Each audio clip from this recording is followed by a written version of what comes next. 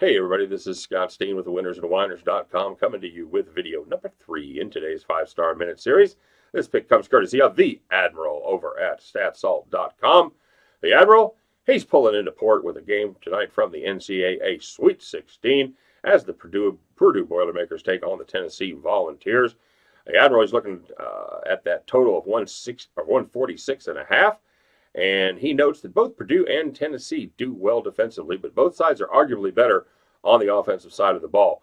While the Boilermakers play at a slow pace with just 65.8 possessions per 40 minutes, good for 268th in the country, the Vols are recording a 67.6 possessions per 40 minutes, and that's good for 170th.